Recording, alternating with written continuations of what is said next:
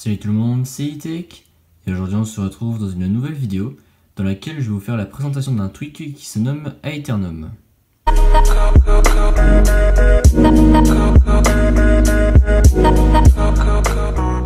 Donc Aeternum, comme vous pouvez le voir, c'est un tweak qui rend, euh, enfin qui change complètement l'apparence des icônes sur votre iPhone et qui les rend tout simplement comme sur l'Apple Watch.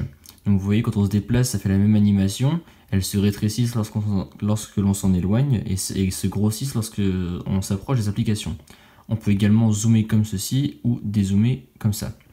Donc là vous voyez qu'on a une forme de prisme mais après on peut déplacer les applications comme ceci en restant appuyé. Et donc vous voyez que toutes les applications euh, se mettent à tourner entre elles. Et donc après pour en déplacer une il suffit de la prendre et de la déplacer à la place d'un petit rond blanc. On a également euh, le dock, encore une fois, mais après on peut le supprimer dans les réglages du tweak. Lorsque l'on ouvre une application, vous voyez, on a cette, euh, animation vraiment sympathique que l'on a également encore une fois sur l'Apple Watch. Ici, donc vous, avez dans les réglages du tweak, vous pouvez choisir de l'activer via euh, un gestuel activator. Voilà, moi j'ai décidé de le laisser en permanence car je le trouve vraiment très sympa.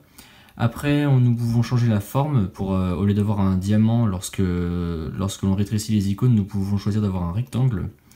On peut enlever le dock, on peut choisir le nombre d'icônes sur le dock, enlever ou non le nom des, le nom des applications, changer les tailles, utiliser un masque, utiliser le, le centre, enfin l'espèce de spotlight pour euh, chercher les applications si vous, jamais vous en avez vraiment beaucoup et que voilà, vous cherchez vos applications, vous avez la petite loupe qui est au milieu et c'est très pratique pour pouvoir, euh, pour pouvoir retrouver vos applications.